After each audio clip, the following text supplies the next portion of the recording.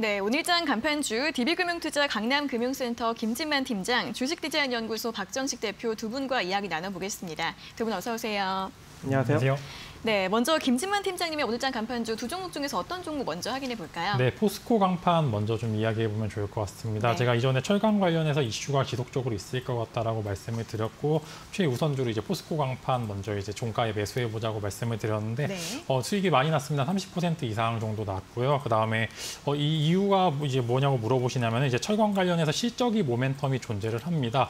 이전에 이제 원자재 관련해서 지속적으로 수요가 있을까라고 하는 의문이 있었었는데요. 그 부분은 이제 포스코 강판 같은 경우 이제 2분기 영업이익으로 보여주는 그런 모습을 보여주었습니다. 이제 지속적인 이슈가 있는 종목에 대해서는 계속 끌고 갈 수 있는 그런 이제 좀 인내심이 필요한 상황에서 어 이제 계속 최근에 이슈가 있었습니다. 오늘 같은 경우에는 모회사인 포스코가 중국 허베이 철강과 이제 합작사를 추진한다는 그런 기사가 나왔고요. 이로, 이로 인해서 중국 쪽에서 지속적인 추가적인 영업이익이 발생할 수 있는 가능성이 굉장히 큽니다.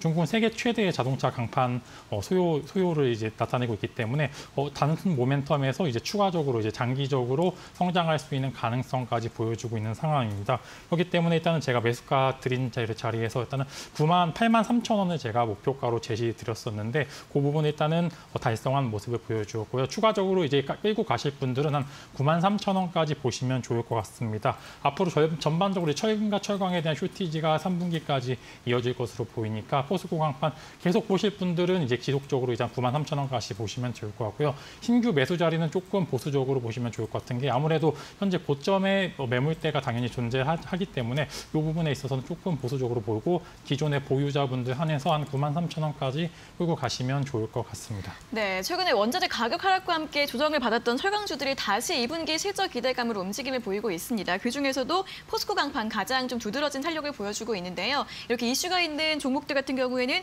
보유자에 한해서 좀 계속 봐도 괜찮다는 의견 드렸습니다. 자, 다음은 박정식 대표님의 오늘장 간판주 바로 확인해 보겠습니다. 네, 휴맥스 홀딩스 보도록 하겠습니다. 네. 코스닥 상장사인 휴맥스 등을 자회사로 보유하고, 있- 보유하고 있는 휴맥스 그룹의 지주회사입니다.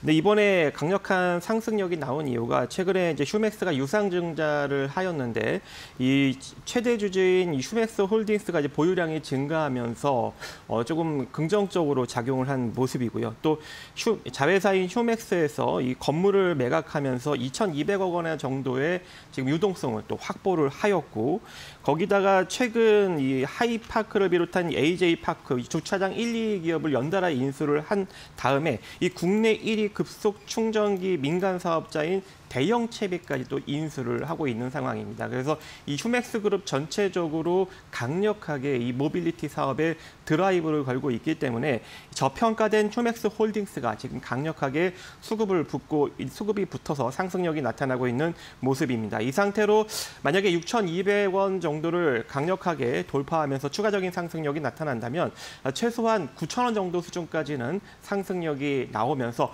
본연의 자산 가치를 찾아가는 흐름이 나타나지 않을까 기대하고 있습니다.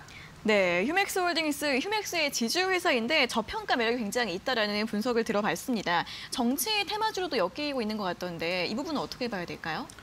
근데 지금 뭐 다양한 정치 테마 주로 엮이고 있는 모습인데요. 과거에는 안철수 관련 주로도 엮였었고 있죠. 이번에는 또 어, 또 다른 정치인 또 여- 어, 정, 정치인 관련 주로 살짝 어, 언급이 되고 있는 것 네. 같습니다. 하지만 어, 이 정치 테마주로 과거에서도 강력하게 부각은 받았던 적이 없었기 때문에 이 모빌리티 사업 쪽으로 조금 주- 여러분들이 포커스를 맞춰서 접근을 해 나아가시고 조금 어, 중기적으로 투자하시는 것이 괜찮지 않을까라고 생각을 합니다. 네, 이 그룹 자체가 모빌리티 사업을 굉장히 좀 확대하고 있다는 부분 주목해 보시면서 중기적인 전략이 좋을 것 같다라는 분석까지 들어봤습니다.